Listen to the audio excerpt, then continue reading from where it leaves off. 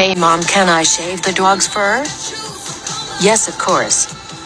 Thanks mom, you're the best. Let me get the shaver. Yay. Okay, I shaved him. You're awesome. I know. Red heart emoji, red heart emoji, red heart emoji.